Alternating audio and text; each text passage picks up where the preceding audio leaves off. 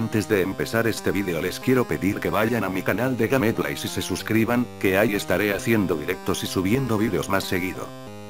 También les pido que le den like a la página de Facebook, para que estén al pendiente de nuevos vídeos que suba, y de buenos memes XD, bueno ahora sí los dejo con el vídeo. Hola qué tal qué onda gente locochona de Youtube, hoy les traigo un nuevo vídeo corto y rápido, para enseñarles este misterio, de la iglesia en GTA Liberty City Stories de PSP, bueno yo me encontraba grabando un misterio, cuando de repente pasé por la iglesia y noté que esta tenía un color verde, me quedé un poco asombrado ya que nunca antes me había sucedido un error como este.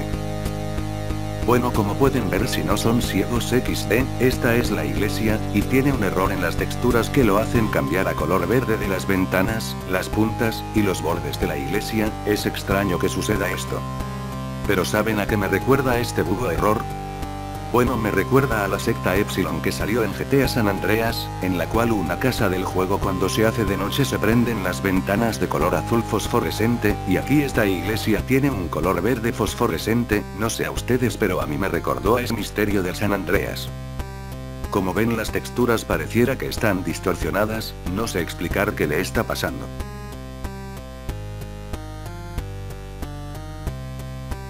Al parecer ya se arreglaron las texturas, pero otra vez vuelven a estar glitchadas.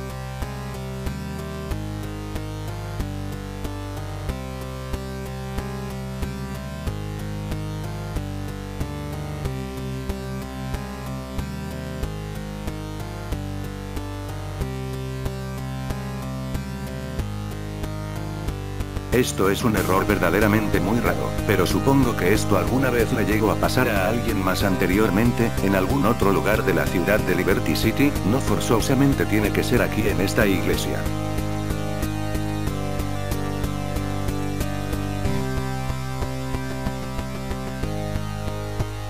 Después de eso el juego se me tragó, y lo volví a poner y cuando regresé a la iglesia esta ya estaba normal, o sea que el error de la iglesia verde solo es un simple error momentáneo que se quita reiniciando el juego.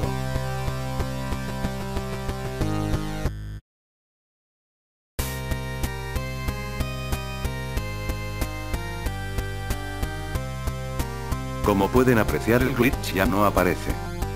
Bueno gente locochona de Youtube, este ha sido el vídeo, recuerden dejar like si les gustó y suscribirse para más vídeos así, recuerden también comentar sus teorías o sus explicaciones sobre por qué creen que sucedió este error, bueno hasta aquí el vídeo, yo me despido sin nada más que decir. Nos vemos hasta el siguiente vídeo.